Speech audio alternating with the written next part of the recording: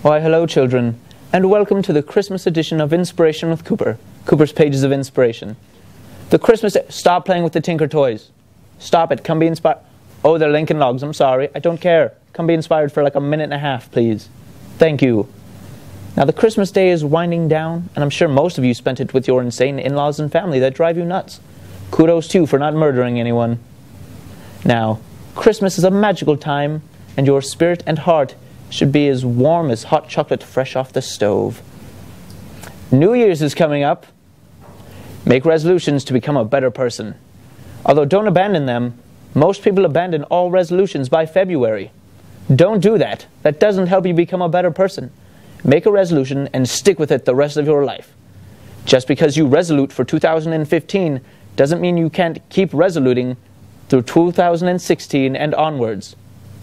Thank you for joining me on the Christmas edition of Inspiration with Cooper, Cooper's Pages of Inspiration. Have a wonderful evening.